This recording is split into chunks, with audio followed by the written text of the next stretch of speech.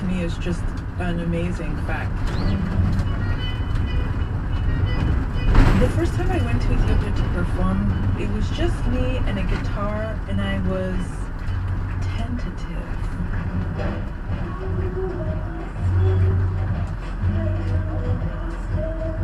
I had founded at the time a collective of Ethiopian diaspora artists.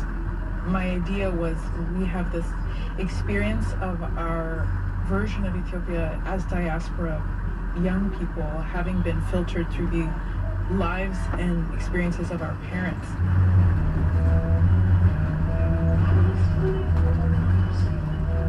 Will they accept me? Will there be a space for me here to create our own relationships to the culture? We just had to go and we had to go again and again.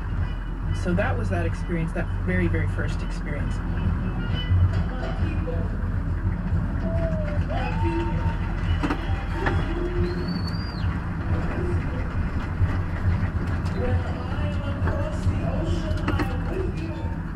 That's when the love seed began, let's say. But when you get up on a stage, you have to be so confident in yourself. It has to be a declaration. Your songs have to be a declaration. And I didn't know that yet.